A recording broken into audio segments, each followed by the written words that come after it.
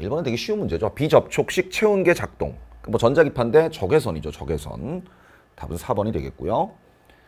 2번도 뭐 이제 늘 나오는 문제입니다. 뭐 빗면을 따라 쭉 내려오면서 가속되는 상황. 그러니까 이제 알짜임의 방향.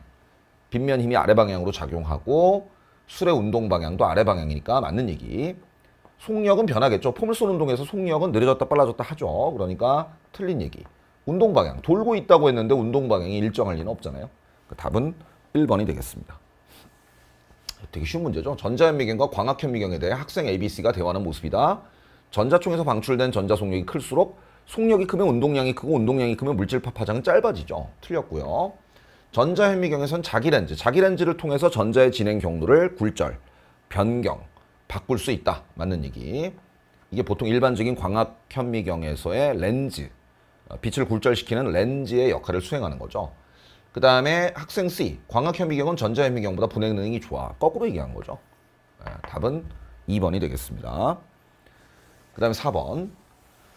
다음은 두 가지 핵반응을 나타내는 것이다. 일단 핵반응식을 완성해 보면 2, 3, 4, 1, 1, 1, 2, 0 중성자죠. 그 다음에 얘는 이제 우라늄 핵반응, 제논과 스트론튬 그리고 두 개의 중성자입니다.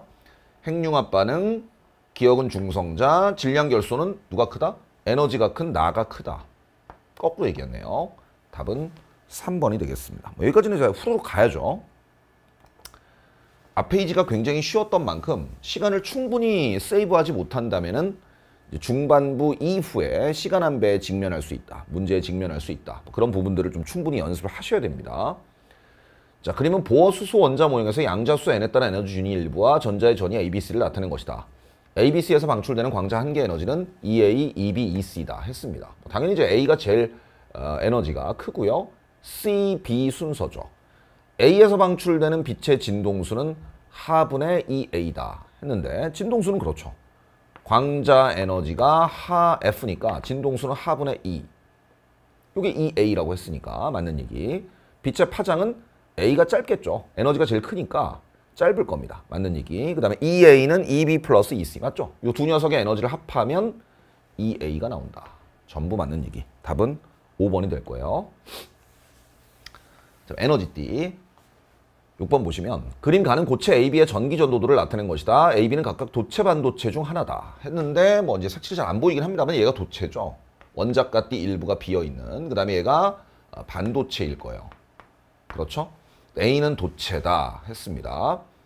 근데 전기 전도도가 큰 쪽이 도체니까 B가 도체죠. 그러니까 B가 X에 대응되는 거예요. X와 B가 연결이 되죠. A는 반도체, X는 B. Y에서 원자가 D의 전자가 전도띠로 전이할 때 전자는 D 간격 이상의 에너지를 흡수한다. 그렇겠죠. 맞는 얘기죠. 답은 4번이 되겠습니다. 첫 페이지는 굉장히 무난했어요. 그러니까 실제로 뭐 수능보다도 살짝 수준이 낮은 편이었고 사월학평가도 좀 대동소이했던 그런 유형과 난이도였죠. 충돌 문제죠. 충돌 문제. 전체적으로 이제 운동량 보존 쓰는 건데 뭐 별건 없고요. 세이질량 찾는 겁니다. 보세요. 전체 운동량의 합은 지금 9MV예요. 9MV. 어떤 경우에도 전체 운동량의 합은 9MV가 나와야 됩니다. 오른쪽 방향을 플러스 방향으로 두고 이제 문제를 풀게요. 근데 얘가 마이너스 MV거든. 아직 C는 움직이지 않았고 그럼 얘가 이제 10MV가 나와야 되는 거야. 운동량이. 그러니까 얘가 속도가 2V가 되겠네요. 이걸 먼저 찾고요. 그 다음에 얘네들 사이의 충격량이 얘네들 사이의 충격량의 두 배라고 했습니다. 거기 보면 B가 A로부터 받은 충격량의 크기는 B가 C로부터 받은 충격량의 크기의 두 배다. 얘네들 충격량은 얼마냐면 아니 운동량이 5MV에서 10MV로 변했으니까 B의 운동량 변화량 다시 말하면 충격량이 5MV가 됩니다. 그러니까 얘네들 운동량 변화량 다시 말하면 충격량은 2분의 5MV가 나와줘야 되는 거예요. 그러니까 끝났죠. 무슨 얘기냐면 얘네들의 운동량의 합도 결과적으로는 9MV가 나와줘야 되거든. 근데 어차피 얘가 뭐 마이너스 MV가 계속 돼 있으니까 얘네들의 운동량의 합도 10MV가 나와줘야 되는 겁니다. 이해돼요? 예. 네.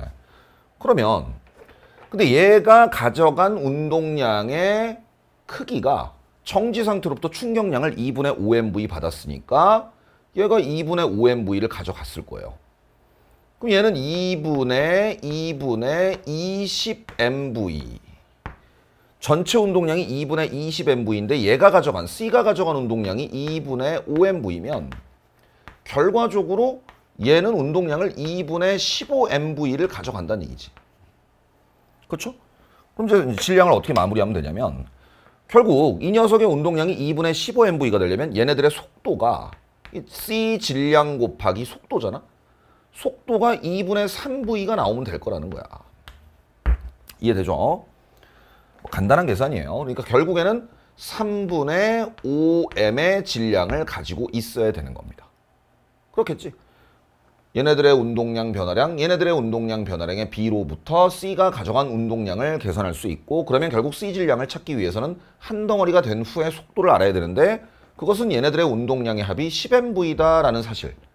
근데 그 중에서 얘가 2분의 5니까 얘가 2분의 15를 가져가죠. 뭐 속도가 나오니까 결국 질량이 나오는 거죠. 뭐 굉장히 단순합니다. 뭐 계산은 좀 있지만 충돌 문제치고는 좀 쉬운 그러니까 작년 수능 트렌드보다도 조금 쉬운. 작년 수능 트렌드는 이제 뭐 다중 충돌 상황도 출제가 된 적이 있고, 그 다음에 이제 상대 속도가 이용되는 조금 더 복합적인 상황을 출제를 했다면 어, 이번 학평에서는 조금 쉬운 충돌 문제가 출제가 되었다. 답은 3번이 될 거예요.